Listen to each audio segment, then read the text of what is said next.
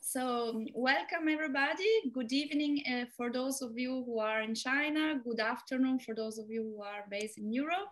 Welcome to our first session of uh, living and working. Uh, today we will be in China between Beijing and Shanghai, basically. And uh, it's a, a, privilege and an honor to introduce you to Hervé Machenaud, who is uh, the president of the China uh, chapter of Sciences Po alumni. And uh, so, Hervé, merci uh, de votre présence. Um, I give you now the floor to introduce the, the Chinese chapter of Sciences Po alumni, and then we will have three uh, brilliant uh, alumni living and working in China that will share their experiences with us. Thank you very much. And Hervé, the floor is yours. Thank you, Camilla. It's very nice to be to be able to be present from China to this important meeting. Uh, the the chapter in China it's uh, around maybe uh, 40 uh, 350 350 uh, alumni. Um, there is two main uh, parts, one in Beijing with probably uh, 100 and the rest, the most important in Shanghai, which is uh, very well animated by, by uh, uh Zoe Zhou and Jiaqi, who is here to, tonight. Um, I, believe that thank you very much for organizing such kind of, uh, of webinar because of course it's much it's very much important for the to, to make the link between uh, reality, you know, to, to see the country and the people in the country as they are. But even if it's so important to do it with every country, I think it's even more important with China. As a misunderstanding between uh, China and the rest of the world is by the time being so big. And uh, I very much hope that, uh, I'm sure that uh, uh, Esther, Anqi, and Patrice will uh, give you a, a, vivid impression of what is real, really China, and how we can, you know, the, the of course, the the condition uh, of living and working and the dynamism of uh, the, the, the, that country. So thank you, thank you, uh, Esther, Anqi, and Patrice, and, and thank you, Jiaqi, to to, uh, to be the, the moderator of that uh, webinar. So welcome all of you.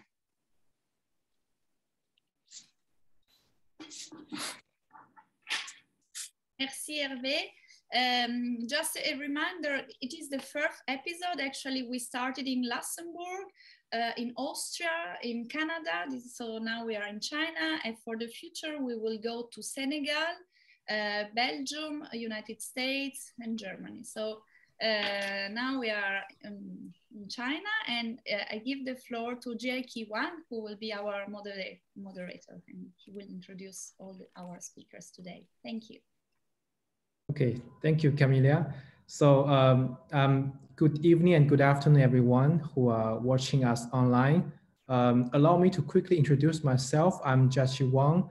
I'm graduated from Sciences Po in 2016 uh, for Master's Finance and Strategy. Um, so I will be the moderator for uh, today's session.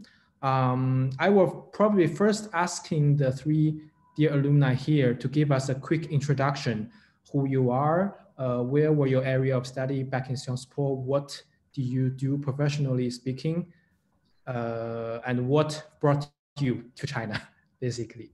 So um, probably ladies first. I will start with uh, Anqi.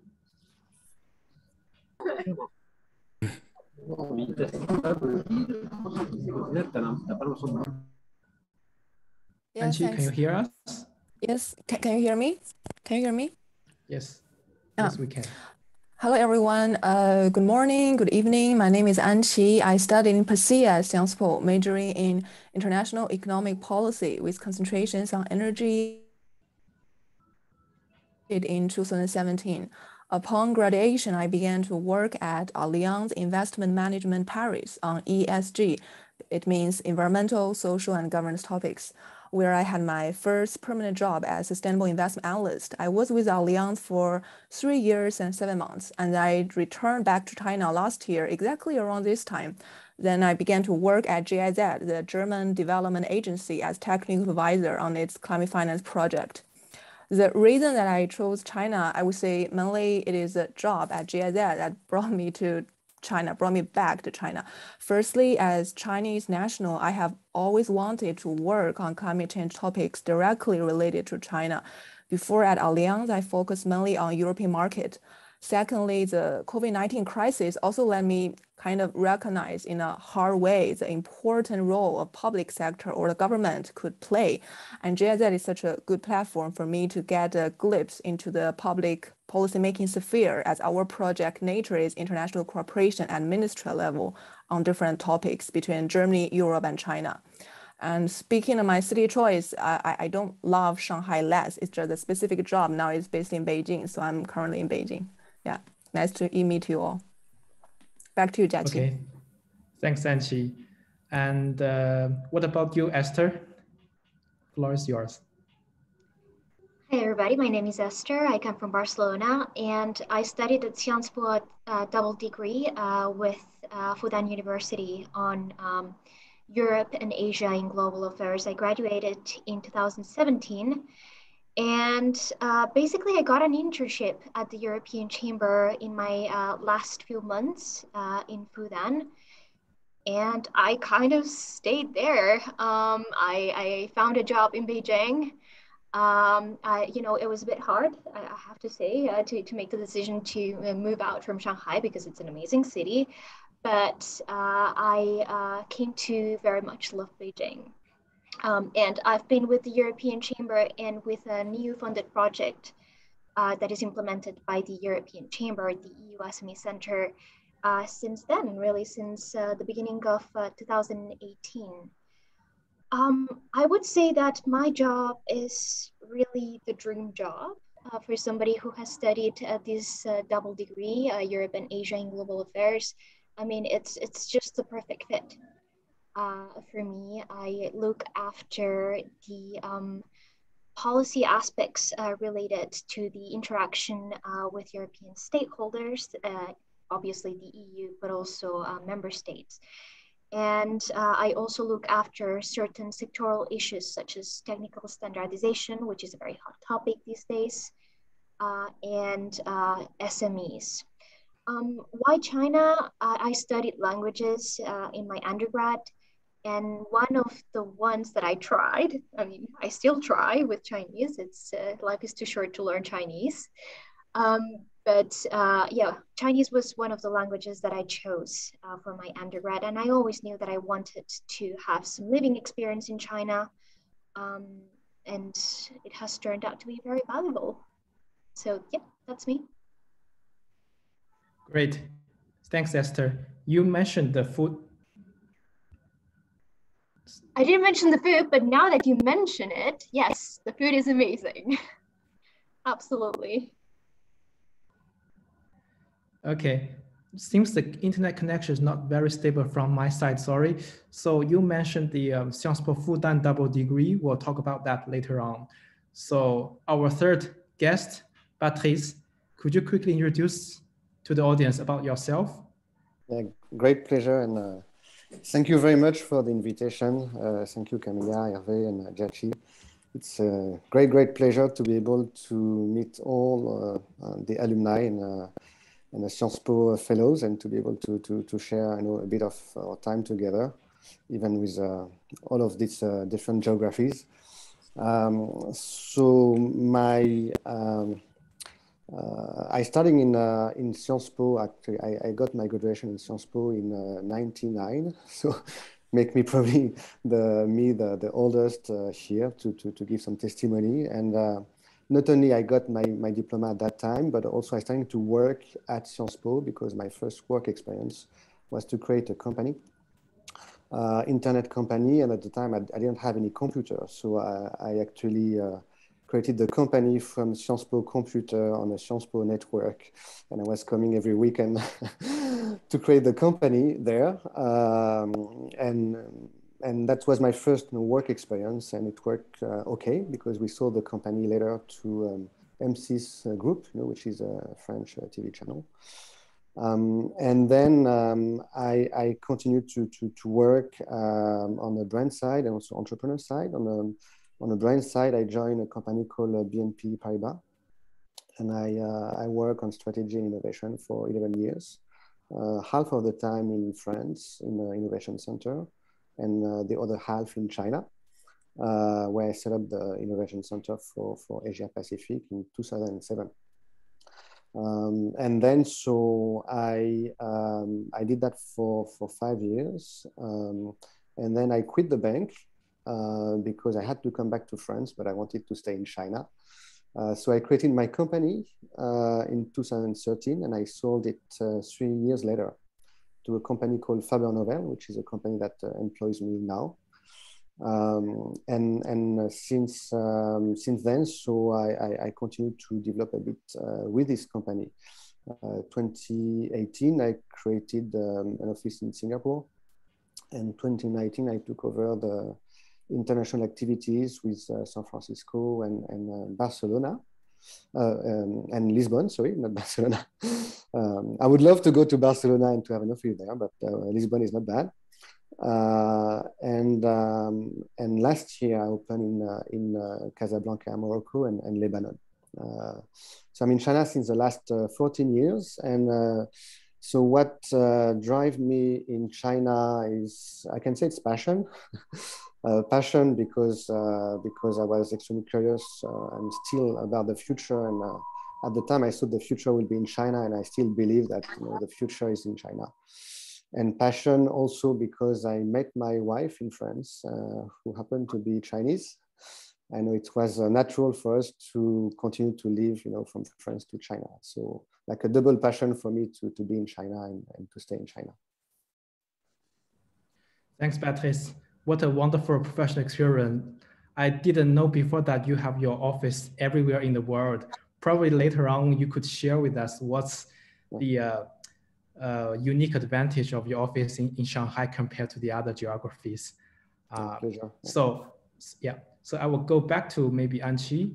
Um, so um, as a Chinese student, uh, I was wondering probably you could share with the audience, what did Sciences Po education offer to you? Or, or, or, in another way, what to what extent did you benefit uh, from your experience in Sciences Po that currently apply to your uh, working job uh, currently? Thanks, Jiaqi.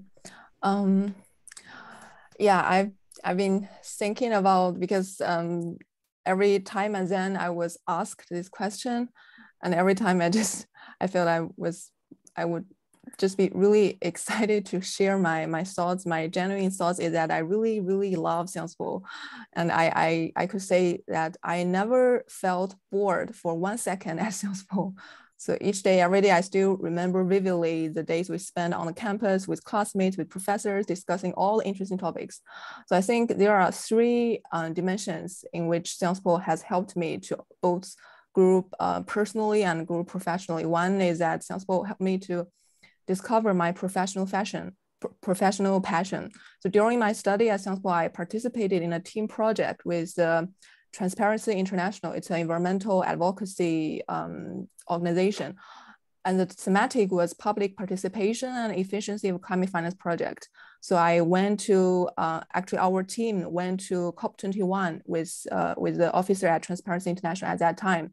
You know, I also did energy and climate related research in my bachelor, but it was really because that, that time my professor assigned this topic to me. It was really until I, I I uh, entered Sciences Po and, and had this um, experience and all the discussion with professor and like-minded students, I began to realize that climate change is really the cause that I want to fight for.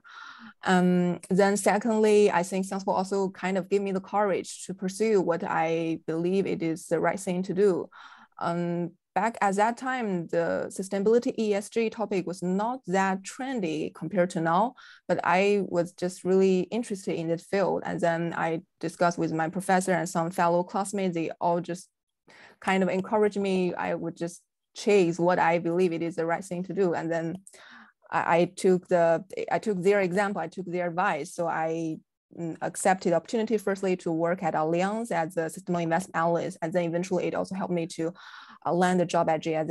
And then thirdly, I would say Sciences also equipped me with the capacity to pursue all this.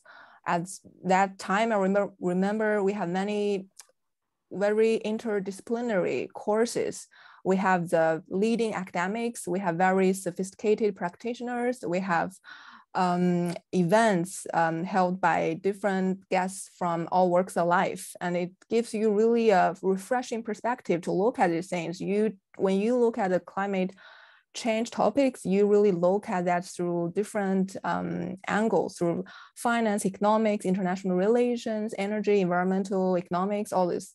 And this kind of helped me in my professional career because I get to constantly work uh, work with different experts from different fields, and I and I feel that this curiosity nurtured in Sciences has never died in me. I, I, each and every day I feel I'm just uh, very proud and um, happy Sciences graduate. Yeah, thanks. Yeah, and so it seems like you are very passionate in climate change, sustainability, um, in not only from your academic experience in sport, but also in your career wise. So today as a technical advisor of climate finance for uh, a Sino-German corporation called GIZ. So what is your feeling on climate finance area? Um, what is the difference between Europe and China's mindset in this area? Would you like to share a bit with us? Yeah, um, thanks, Jiaqi, for the question. Um, I would say climate finance is definitely one of the most interesting interdisciplinary topics of our time. You know, when I was at Allianz, we were always talking about climate risk adjusted return, meaning that we do believe or we hope that by incorporating climate considerations into our investment decision-making process, we can have at least market rate of financial return. So it's kind of taboo to say that we are having like less financial return because we are doing the good thing. We are doing ESG. We are taking into consideration of climate. And we are always saying we are not doing philanthropy things. We are a commercial and institutional investor. We need to we need to uh, fulfill our fiduciary duty. And it's all about return and having this environmental impact at the same time.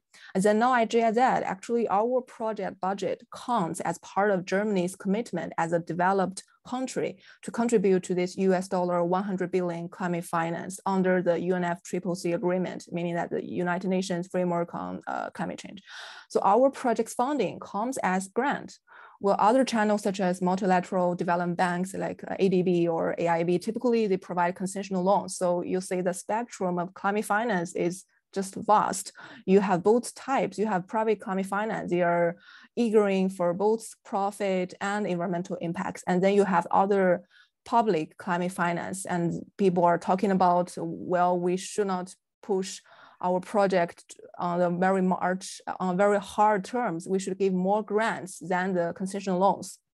And also there exists um, blended finance. Basically, public entities take the riskier part of the project for the funding uh, scheme and crowd in private investors. And in all this process, to, to source a deal, to, to assess a project, to close the pipeline, to implement it on the ground, as climate finance professional, or sustainable investment analyst, whichever you want to call that, because different organizations, they have different titles named for this kind of interdisciplinary uh, interface or position. You've got to work directly or indirectly with climate scientists, industry experts, risk experts, and portfolio managers, etc. And I think it is not jack it's not like the thing it's kind of a jack of all trades master of none. It's really depending on your organization type. The core strengths needed is very different. If i'm with as manager i will focus really a lot on issuer level analysis. If i'm with an asset owner i will work more on the portfolio level. And if i'm with service provider like anyone who provides climate scenario analysis i would do a lot of modeling. And today i would say after my uh, my my rather um, uh, strange experience in, in, in France and now uh, just one year experience in China, I would say on the aspect of climate finance, in my opinion, Europe is ahead of China, but China is quickly uh, catching up. I think the main, main reasons behind this um, different uh, different speed is, is back to your question, Jiaqi, as the corporate man side, because in Europe, you really have this kind of hybrid momentum. So both top down and bottom up. You bottom up, you have the initiatives coming from civil societies, from the uh, institutional investors.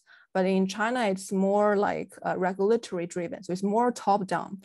And when you uh, kind of have uh, not as hybrid as this European uh, approach, then you, you kind of lose some momentum in, in the beginning phase. But now in China, because the regulatory pressure is quickly adding up, so I see many Chinese companies, they are also um, kind of uh, very interested in this area and they're pulling a lot of resource on that. And then the second different thing would be transparency and disclosure. I would argue that transparency has its inherent value. And in, in, in, Euro, in Europe, uh, especially in France, because of the NGO scrutiny, you have a lot of transparency, especially when it comes to climate related data. So we have a lot of data to, to, to put into use to do that, to, to form the metrics, do the research, but it's not exactly the case in China even sometimes when we want to replicate the same metrics, we have the formula, but we don't find the data to plug in and to get a result. And the third thing is about public engagement and public awareness. These are intercorrelated. It's and it's it links kind of back to the second thing I mentioned, transparency and disclosure. It's exactly because in China, the transparency and disclosure still needs to improve. And then I feel like, especially for the climate change, climate finance topic, the public engagement awareness is relatively low compared with compared with European companies because the public they don't get materials to talk about and the mainstream media they don't kind of actively covering on, on that on that aspect. And then the last thing I would like to compare is maybe more like the recognition of this uh, climate finance as an interdisciplinary topics in, in, in EU or in France. In, take, take my example, when we hire sustainable investment analysts, we really look for uh, interdisciplinary background. And we have the preference to, to say that if we are in an asset owner position, our ESG or sustainable investment analysts need to have at least environmental engineering, uh, energy background. But in, in China, when I read some job positions and I see companies specifically, they want to hire PR professionals for this kind of position. So they don't really recognize the value of having an interdisciplinary talents in their company and it's um, yeah but it's it's it's improving. I so on this aspect i think chinese companies can learn a lot from european companies and the two can definitely um, benefit each other. Yeah. Thanks Jiaqi. thanks anqi as always your sharing is always insightful and technical. Um, uh, so that also you, you, you mentioned the multidisciplinary uh, talent that uh, is much needed in the area of climate change, uh, climate risk and sustainability. That also echoes a lot of recently I read an article about it's not how to calculate the commercial gain in the short term, but also to calculate the long-term loss if you do not apply those risk uh, climate risk management across your, your, your business, no matter in which sectors. Thanks a lot, Anqi. Um, so um, Esther, so you are the senior business manager of European Union Chamber of Commerce in China. And you also mentioned that you did the dual degree of Fudan Sciences Po. Could you help us to draw the connection between the two? I mean, how did the double degree uh, help your career in China first? Right. Um, so first of all, I would say that I uh, I am completely on board with everything that Anqi said. I think that uh, Sciences Po was a fantastic uh, learning experience.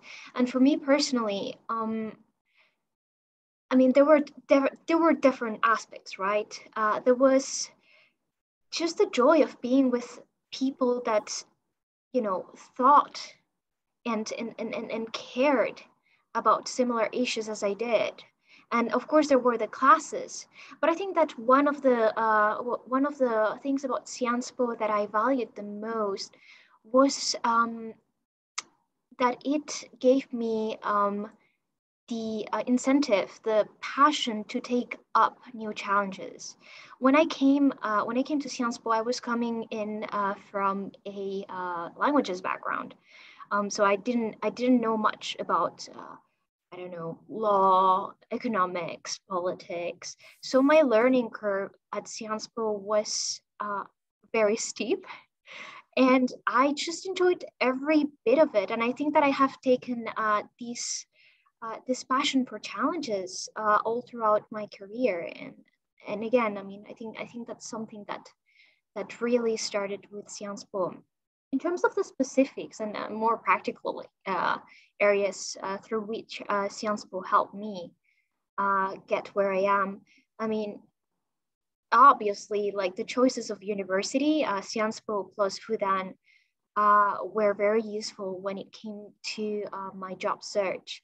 Uh, Sciences Po is one of the top universities in the world, and so is Fudan. And in, in China, Fudan is very prestigious.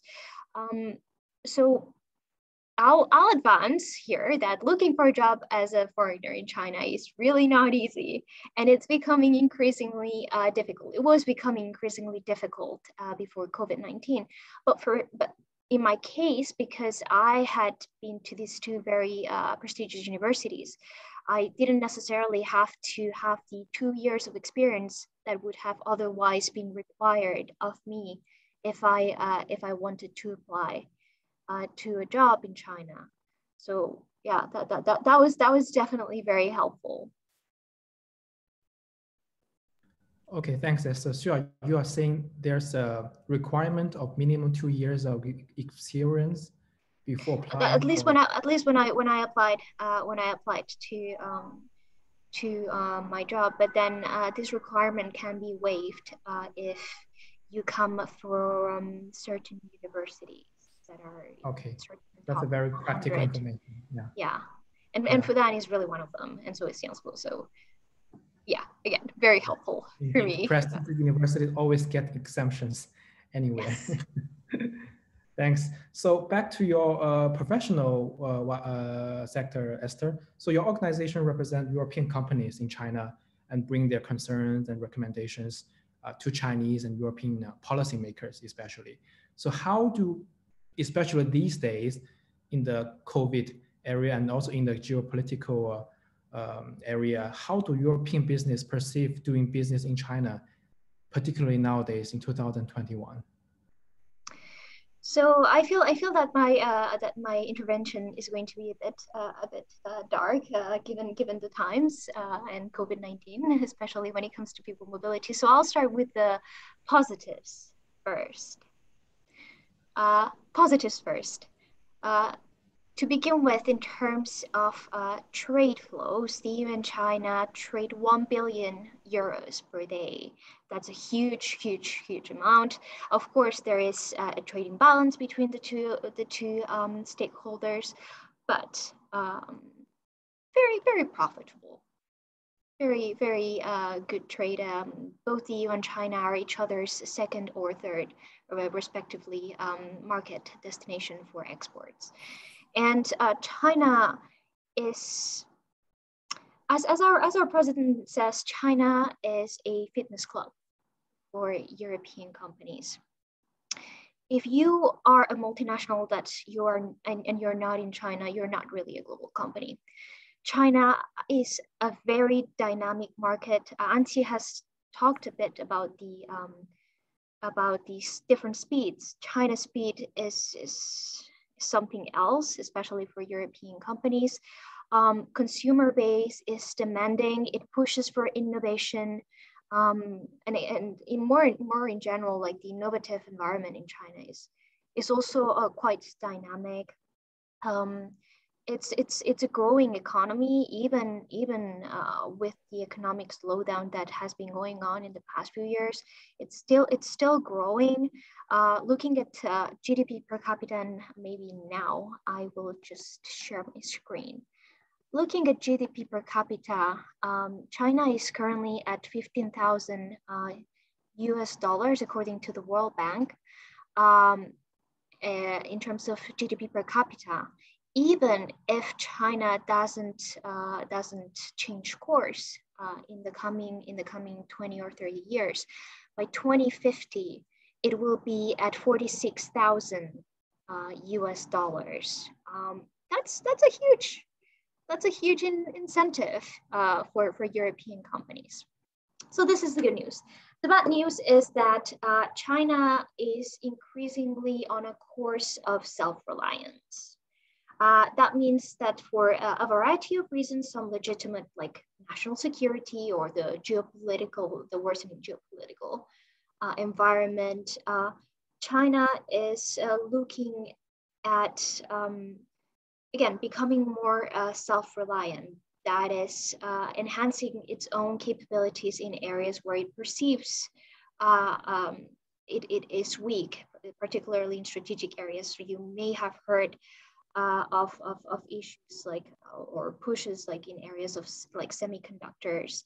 Um, so so so that's that's the situation, and um, this increasing self-reliance means that China is going to lose out. I mean, there, there is going to be a cost, and you can see this in the um, in the screen that I'm that I'm sharing you. There is a cost to this uh, self-reliance push of 21,960 US dollars uh, GDP per capita. So you multiply this uh, for by um, 1.4 billion people, and it, I mean, you know, China could do so much better if if it uh, if it didn't necessarily like completely close uh, down. Um, Another, another uh, area that I wanted to highlight and that is very relevant for us uh, as um, international students and uh, young graduates is that even before COVID-19, uh, European companies, which are of course like, you know, one of one of the groups that hire that are more likely to hire uh, European graduates, they were seeing 35% uh, were seeing a decrease in the number of, foreign nationals uh, working in, in their company. That of course can be explained by uh, the extremely good and capable graduates that China has, but it can also be explained by the gradual closing up of, uh, of the country. And especially that has been the case since COVID-19. I mean, I'm, I'm, I'm talking with students. I don't know how many of you have double degrees with Chinese universities. I can imagine, I mean, how, how, how complicated it, may, it must be for you um, to, to be doing these double degrees uh, all online because China is, is closed up. And if you look at, if you look at um, China and its relationship with foreign populations as a whole, you will see that out of, uh, according to the latest data, out of 1.4 billion uh, people, um, there were like what, 800,000 foreigners. The foreign population of Beijing and Shanghai combined is less than the foreign population in Luxembourg. So there is definitely a room, like a lot of room for improvement in terms of people-to-people exchanges between uh, China and and uh, other other countries and the EU in particular, and this is becoming more urgent as public uh, opinion on China in uh, Western countries is is declining. I mean, if you look at the latest Pew Research data you will see that, for instance, in Germany, uh, negative public opinion on China has gone from 37% in 2002 to 71%. In France, 72%. I mean, in, in, in, in, in Sweden, it's like 80%. Uh, it's crazy. So, so I mean, there, there, there is value to these, uh, to these uh, people-to-people exchanges. And uh, at this time, I would say that they are uh, more needed than ever. So this is the negative. Uh, I promise, I promise I, I will bring some, some positive energy uh, in, in, in, in the coming interventions. Sure. Anyway, I, we, we really appreciate the, uh, the two sides analysis, pros and cons, typical Xiang's way of thinking. That's very comprehensive, especially provides a very comprehensive view for the audience before they decide to come to China. It's really, really impressive. Thanks. and also Ester, as a final quick question for you to wrap up, um, as a foreign national, you know, apart from the, the linguistic capacity of obviously of Chinese, what other knowledge and experience and skills do they need if they want to work in China? All right. So first of all, I feel that I finished uh, I finished the, the, the, last question in a rather uh, depressing note. So so let me. I, I don't want to discourage anybody uh, from uh, studying uh, China or from uh, going to China to work. That's far far far from my, my, my intentions. And so I will say that on the positive note. China has become uh, the topic du jour in, I mean, pretty much everywhere in the world. And so um, there is a real demand uh, in, in, in, geographies like Europe for uh, people with China expertise. Um, so I mean, if, if, if, if, if you're studying a double degree with Chinese university or um, anything related to China, that's that's I would say that's that's a, that's a very good career uh, choice, and uh, it will it will it will serve you well uh, in the future. Uh, now, in terms of uh, working in China, of course, having having uh, a good command of Chinese is becoming more and more necessary as time uh, goes by, and as um, the uh, competitive like competition within uh, within the job uh, market in China becomes uh, stronger. So as a foreigner, you have you have to think that as a foreigner, a company will have to go through a lot of trouble um, to hire you. Uh, you, you will have to you have to to like have your visa and your work permit. So so it's it's it's a big investment uh, for for a company uh, or an organization to bring you in as a foreign national in China. It's it's it's not easy. So definitely having the language is just a basic. And another thing, and another thing that I would that I would add is uh, as a young graduate, having a specific field of knowledge um, is, is, is, going to be very uh, helpful uh, to you. For instance, Anqi uh, has, has this, uh, this uh, very um, very hot kind of expertise these days on ESGs.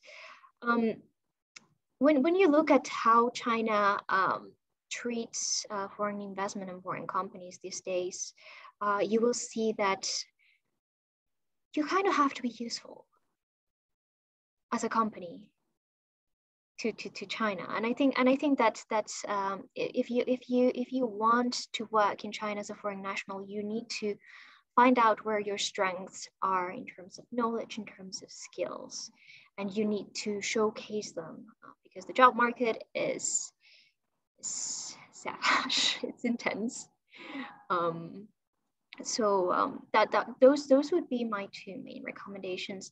And of course, for me, uh, again, like starting my career in China just as I was winding down uh, from uh, my studies and I was already in China, uh, that was really helpful to me because again, I was already there. Didn't I didn't have to go back to Europe or I didn't have to apply from Europe. It's really helpful to to look for a job um, if if you're already in China. That of course is uh, very difficult these days, uh, but you know whenever China decides to reopen its borders, uh, I, I I would say that it's something to take into consideration. Try to find a job or an internship while you are in China, because yeah it, it may be a bit more complicated. And I last point is uh, I absolutely recommend to anybody with an interest in China to live in China and to work in China. Um, if that for any reason is not possible, I think that the um, the job market for uh, China expertise in Europe is growing, as I mentioned. So I think that there will be uh, a lot of opportunities in Europe to work with China experts in lieu of, you know, being able to uh, work in China, at least for the moment. Thanks, Ester. So to wrap up, uh, being in China physically, try to that helps if possible. That helps a lot. You know, apart from uh, mastering the language, and also try to strengthen your key competencies and key skills. To in the business, what we say the product market fit, but in this case, we would say self competency competency market fit. Try to find the area where you can shine as a professional. Absolutely. Okay, thanks, Ester. So the floor is to our final guest, but not the least, definitely. So Patrice, um, so you are the managing partner of uh, marketing tech Fabernovel. You are taking charge of international strategy and operations. And people are always very wondering uh, on your entrepreneurial experience. What makes you want to start uh, create your startup in China? You mentioned it before, but could you provide me or us some more details? It was, it was great pleasure. Uh, and the funny thing is, uh, originally it was really not the plan. uh, you know, my background is uh, is uh, is I've been trained as an economist before coming to Sciences Po, and my plan was to become civil servant. and I had the idea that you know I could you know have a relaxed professional experience, you know, don't work too much, and maybe have time for you know. Um, my passions, etc. And um, and then I joined Sciences Po in '98, uh, actually uh, in October. In October, I joined Sciences Po in Paris. Um, I got my first email. I discovered internet the same year. Uh, November, I created my internet company. So a month later, uh, and everything changed. Uh, I was not uh, going to be a civil servant anymore. I was uh, starting to work, even though I, I was not even uh, graduated. Um, so, so yeah, I created a, a, company in China, but I think I got the virus, you know, uh, at the very beginning, uh, back in 1998. Um, and I discovered a totally new way of um, working, and maybe the fact that maybe the ideal job is not the job that will be served to you by a company, but maybe the job that you design yourself and you can actually create by yourself, like creating the company that will make your ideal job.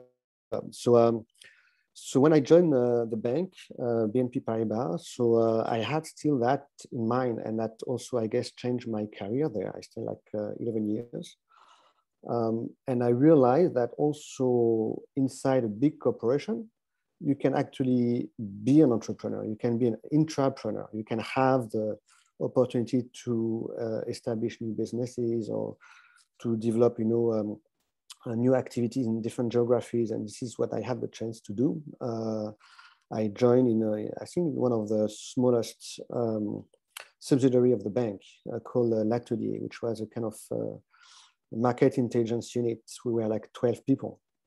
Um, and the company was supposed to, I mean, the unit was supposed to become a company. And I joined uh, BNP Paribas to help actually this little unit to become a company and to start to sell services outside of the group. Um, so by doing that, so I, I started to um, uh, sell services and to become an entrepreneur again, my first year in, in the bank. Um, and ultimately, I realized that uh, maybe a, a, great client could be the, the, the major uh, stakeholder of, of, of, of, this unit, which was, um, which was the bank itself. So I started to advise the um, strategy department of the group about how to have a better internet strategy, intranet strategy. And I joined the, the strategy department uh, along with a M&A team, uh, we build up a very small team to manage um, the internet strategy and to realign the strategy um, of, of the bank. Um, and then uh, I had the chance to be able to go to China, as I explained before, uh, to set up this uh, innovation unit uh, in Shanghai. Um, so I did my first trip in 2005, and I and I realized that uh, so it was a blow, you know, for me first. this trip to China, uh, and we are preparing the for the Olympics, um, the Shanghai Expo in 2010, and I, I could already already feel the the, the, the, the, all these internet companies, Alipay and, and coming, Alipay was only four years old at the time, it was still small, but I could feel that how it will uh, shake the world uh, at the time. Um, so, so I had the chance with the bank to, to go in China and to develop this uh, kind of uh, observatory, you know, um, unit. Um, and because I, I, I, I, like to work with people and I was alone observing things uh, from, from, from, from Shanghai and reporting to the headquarters, um, I decided actually to support not only the bank, but also um, the client of the bank um, and to help them to better understand China. So I started to sell services so I could recruit um, business analysts and I could work with a team. So I ended up to work with a team of uh, 15 business analysts and to explore other boundaries. Um, at the time, so luxury was starting to become a very big topic. Uh, uh, Chinese people started to um, travel uh, and to shop, you know, in uh, Hermes and uh, Dior, like overseas. So it, it, was starting to become big. Um, and then I, I realized that maybe my best job or the next big job will be to work um, in China, but I was already there, to work on digital innovation, but I was already working there, but to focus on luxury. So I thought, okay, maybe what will happen in between these uh, three elements will be interesting. I have no idea about what will happen, but I want to be there. So uh, I was expatriate and I was supposed to come back to France but uh, and it was only five years that I was in, in China. So and China, five years it seems very short actually. So uh, I thought about okay, I, I, cannot come back to France. You know, it's just happening. It's just the beginning, and uh, there is something even bigger that will happen. You know, between luxury, China, and digital innovation. Um, let's go there. So I created my company at that time but you see that I had the virus back in 98. So, and I had this experience with L'Atelier BNP Paribas to become entrepreneur and to have the experience of building, you know, uh, to do what we call the, the zero to one. So you start with nothing and then you have to build everything. Uh, and that's very difficult uh, usually. So I, I, I, already did that like twice before I set up my, my, my company called Velvet um, back in 2013. So I had this experience a bit before. Uh, so I guess it helped me to manage uh, not to crash the business immediately. And my ambition was actually trying not to crash. Uh, it was not to succeed. I said, okay, I'm going to leave a very big company. I will be all by myself. Uh, nobody will be willing to work with me anymore. Uh, so if I don't crash after a year, it's it's it's great. I will be so happy. Um, but eventually, uh, it, it, worked much better than before. Uh, and I realized something very important that maybe along those years uh, uh, with my clients and other companies, I built something which was not tangible, which was trust. Um, so I had a lot of company that were telling me, you know, we don't care about the name of your company, you know, just call it a Nordey company or as you want. You know, we work together uh, since a long time. We know each other since you know, 10 years. Uh, let's continue to work together. So um, I was really, um, I mean, I had a lot of chance to have, you know, build this trust, but I realized it was the value of that when I was actually alone with my company. Um, and I managed to had like to have like very nice projects. Um, uh, I work with um, the PPR group, what was named PPR group at the time, which was renaming as a Kering group. And they had to change their name to, you know, to this uh, Kering and, and Kaiyun in Chinese. And they, they needed to have a global communication, including in China, of course, which for them was extremely interesting and important and critical. Um, so it was one of my first projects to manage the corporate communication on social media for a group like uh, the Kering Group. Um, so at the time, so what I was doing uh, for this agency was to do um, what we call content marketing. So mainly on social media. So basically to tell the story of luxury brands in China. Uh, and my Chinese level at the time was okay, but not at the level I could write or I could really. So it was a, uh, another challenge to actually being able to work with uh, Chinese colleagues um, that could you know, really um, like craft stories uh, and explain to a Chinese audience, you know, the whole heritage of these luxury companies. Um, in, in, in, and, to do that uh, with my venture.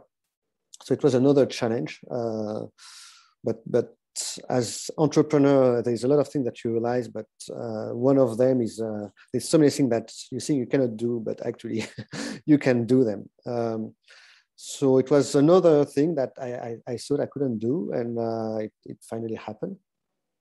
Uh, and, and finally, after I had the chance to be able maybe to sell my company after a year, um, and I realized that probably it was a bit too early, and I had so many in my head I wanted to develop. It was not there yet, uh, develop as a company. So um, I, I, I, I, decided to focus on my business for, for the upcoming two years and to give me at least three years to develop the business. Uh, and then I had a chance to, to meet Fabernovel, which is an innovation uh, agency that combine um, things that usually you can never combine in under one roof. Uh, so they combine like uh, consulting and strategy, and this is where I'm coming from. Um, they also combine uh, marketing, uh, which was I, I, built with Velvet, um, and I think is very essential for a company uh, to really be able to be um, consumer centric. And they, and they, then they have tech. So one third of the company actually software uh, engineers. So, so, so they're also doers.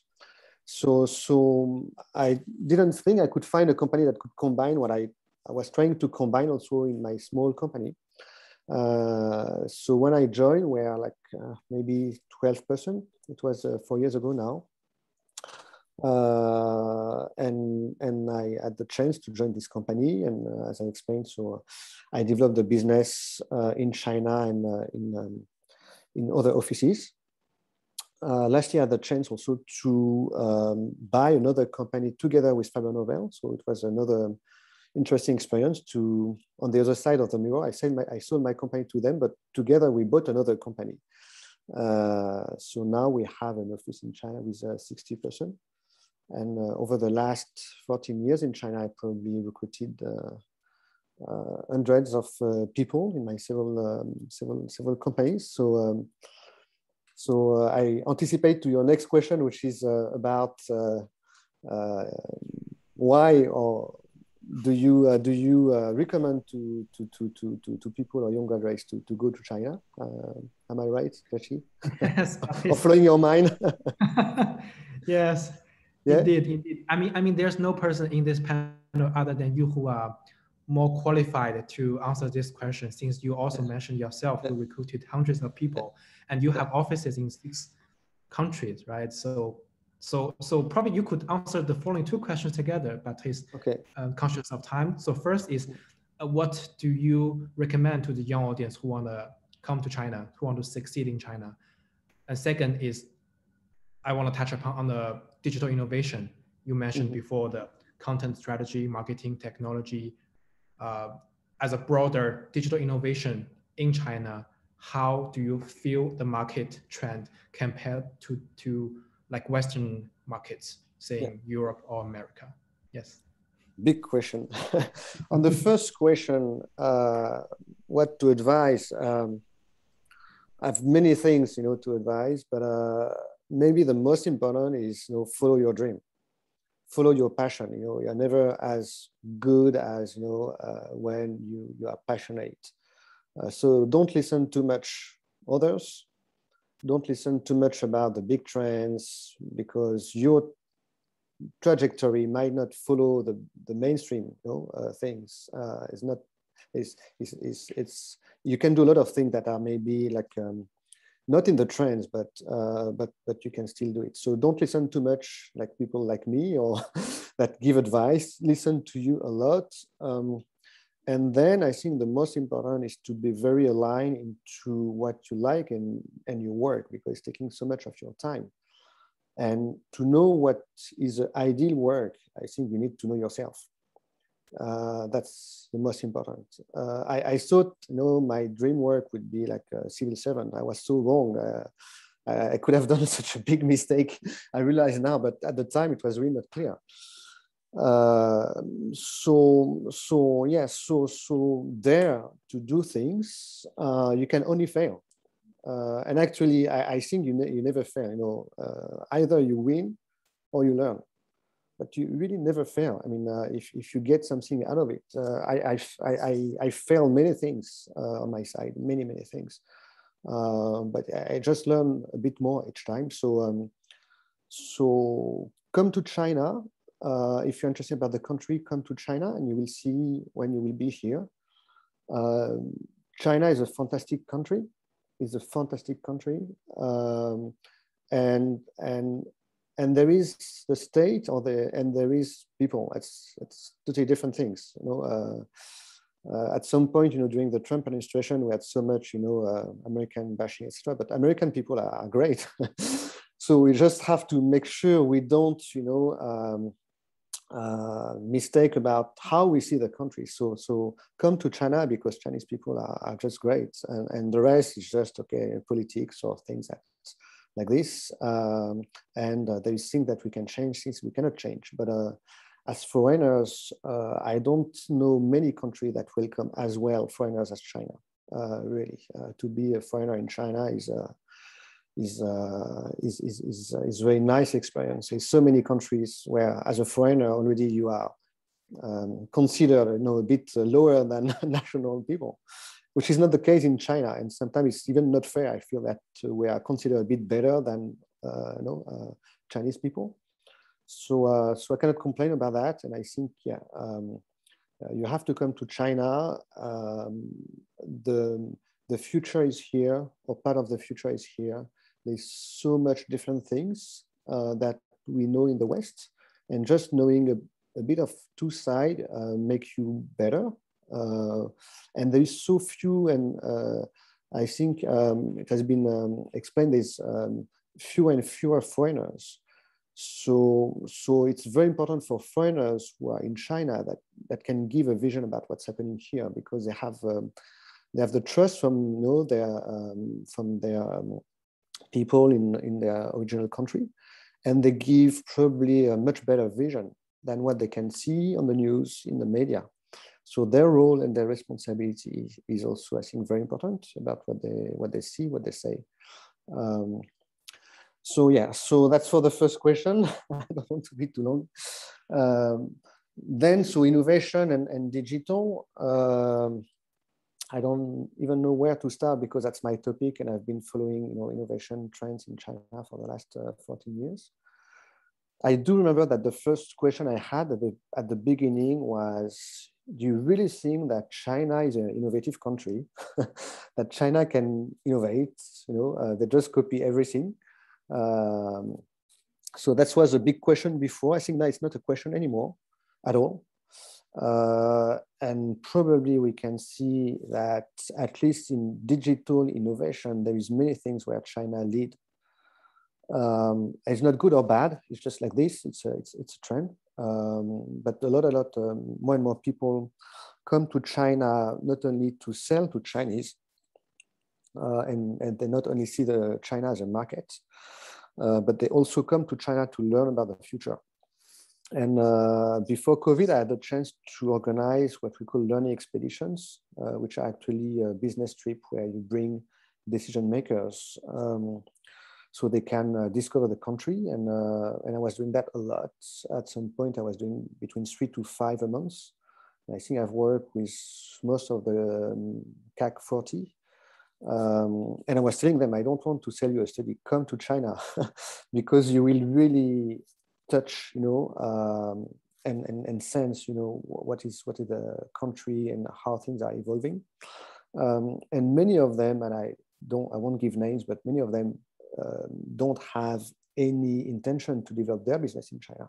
They just come in China to try to understand um, some innovation or some uh, new things or things that maybe will never be developed in other countries because they are so endemic and specific here. And I, and I had that in energy, in transportation, in finance, um, in uh, retail, uh, many, many industry where actually uh, China is, is leading. Um, and it's probably the still the beginning, uh, still the beginning. Uh, but again, it's um, uh, there's not. Um, uh, I think it's it's it's interesting to see that, and uh, and um, and also to have such a big country to have its own share into global innovation. Um, but the thing I think is not also to antagonize you know things, and uh, there is no competition about is China more innovative than US or Europe. Um, innovation is all about sharing.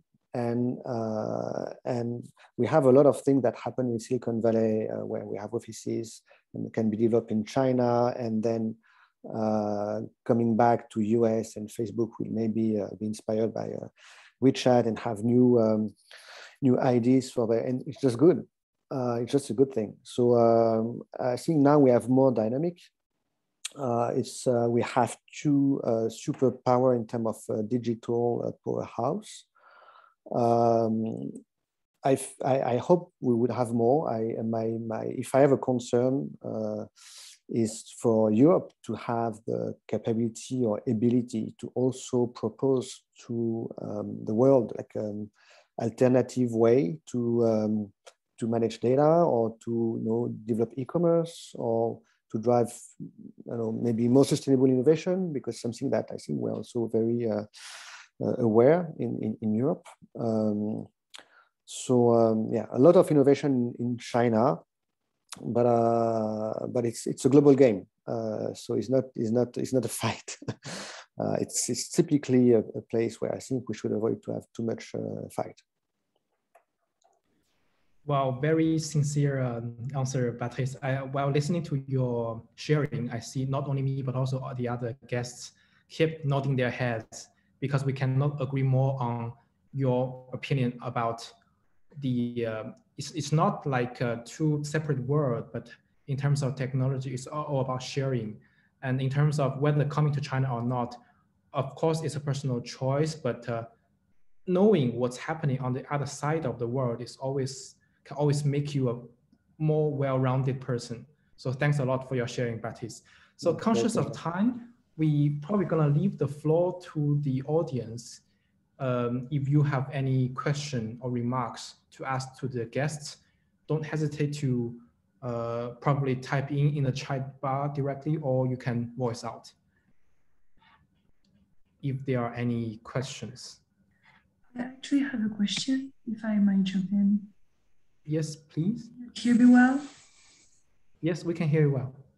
Thank you for, for all the good advices and insight for this uh, China uh, conference. And I have a question. I actually don't speak Chinese, but Japanese. So I was wondering to what extent is it possible, might it help to, to speak another Asian language? And yeah, and how bad is it not to speak Chinese? That's my question. Even if you already speak a little bit about this already.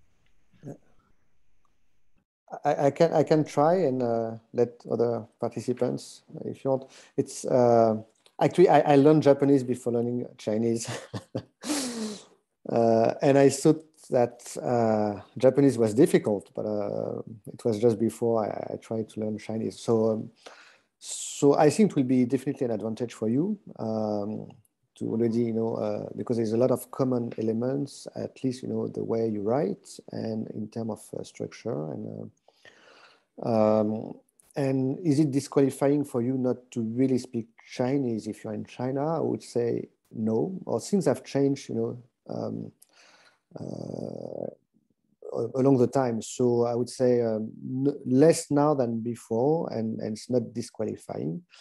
Uh, specifically, if if you're in Shanghai, in some other cities might be a bit different. I know that in Beijing, uh, um, it's already a bit different. You you have to be a bit more um, uh, not fluent, but at least to have a minimum level of Chinese to, to be able to communicate because less people will speak with you in, in English.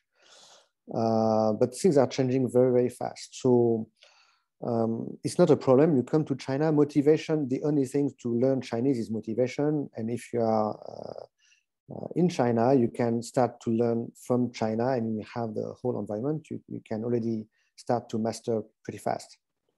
Um, so don't make it a blocking point. That's um, uh, my recommendation.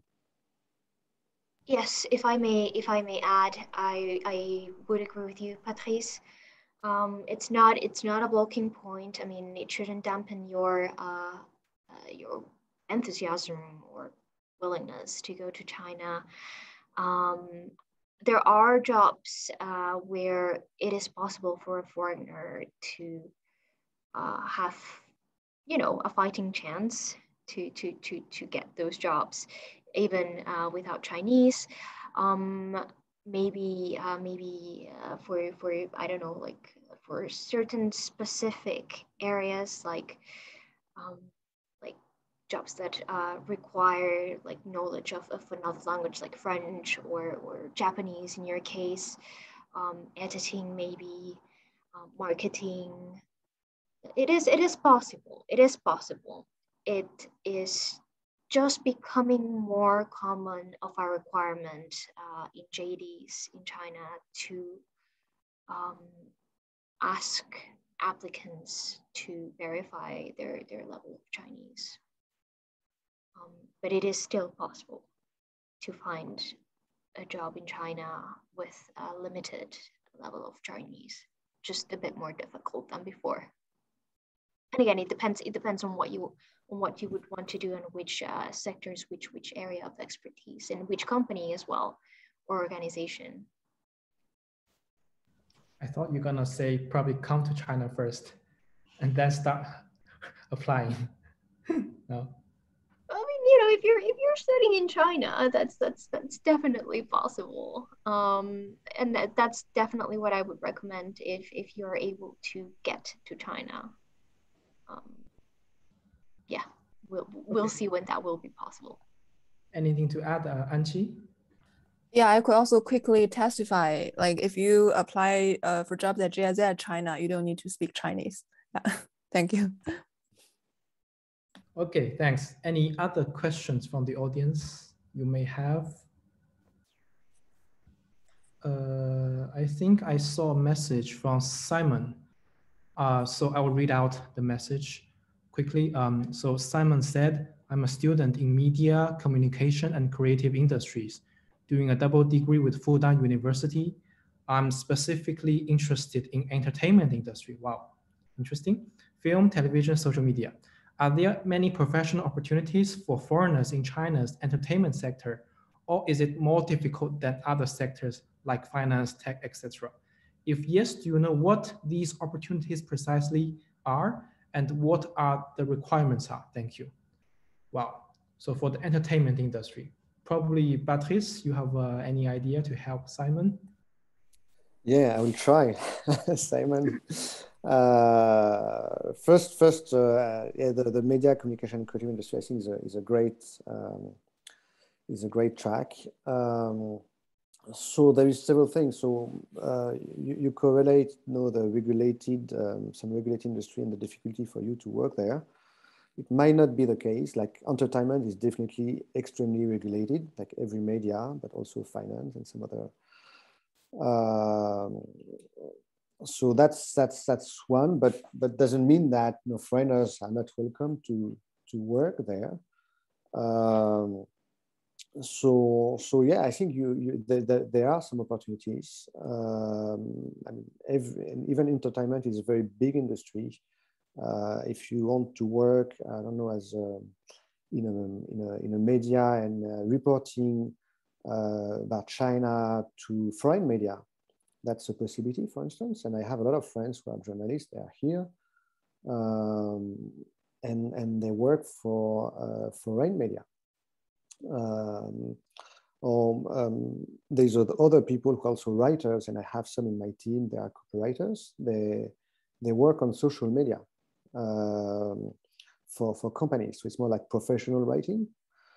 Um, then in terms of entertaining, you have all this, you know, um, park and uh, you know um, uh, entertaining park like uh, could be uh, Disney park or like uh, we have you know the the Puy du Fou who is uh, starting in in China, but we have Pierre et Vacances, we have a lot of things like this, um, and those organizations actually also require uh, professionals working um, in their company and, and being foreigners. Um, uh, Club Med is, on, is another one. And one of the promise of Club is actually to have uh, professionals who are welcoming guests who are actually non-Chinese, and they expect to see non-Chinese. Uh, so this is more like close to you know the uh, hospitality, you know, entertainment industry, um, and a lot of foreigners are uh, well welcome and uh, appreciated.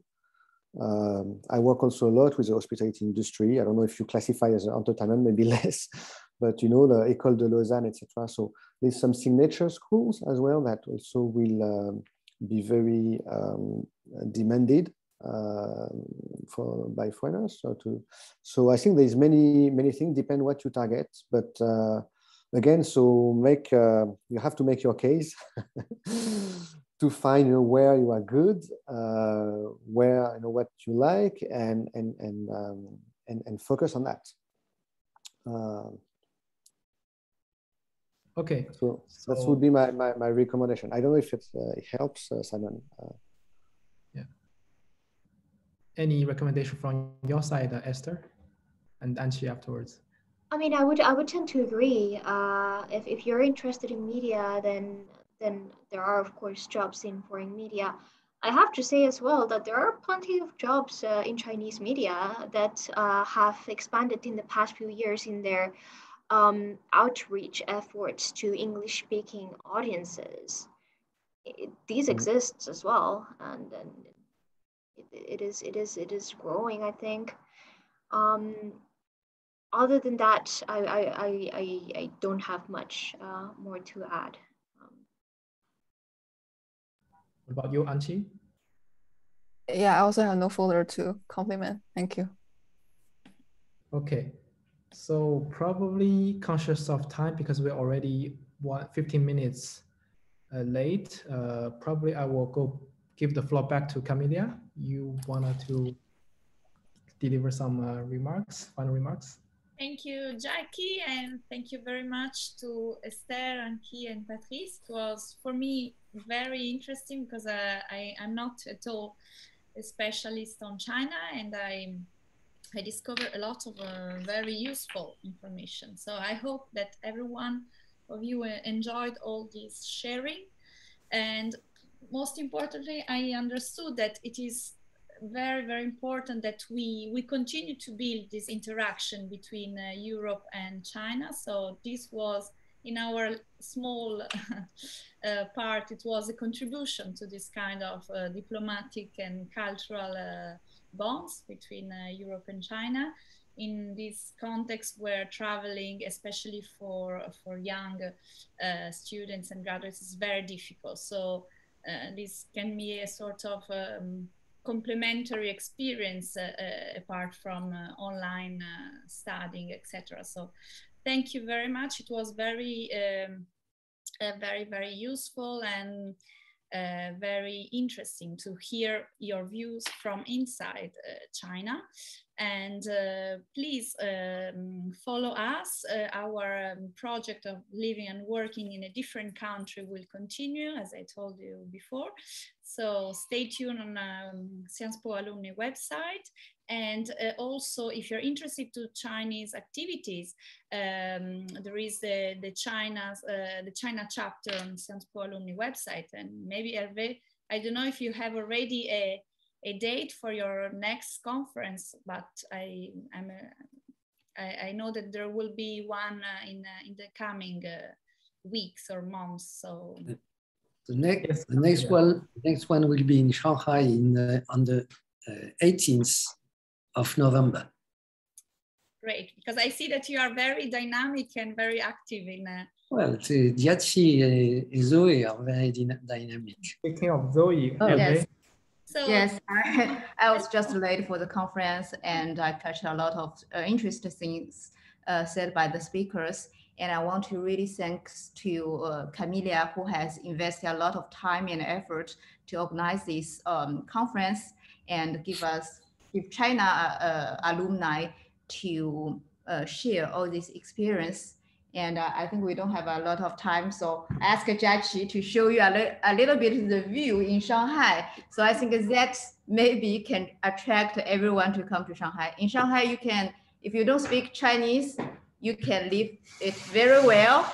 And we have a very beautiful view here.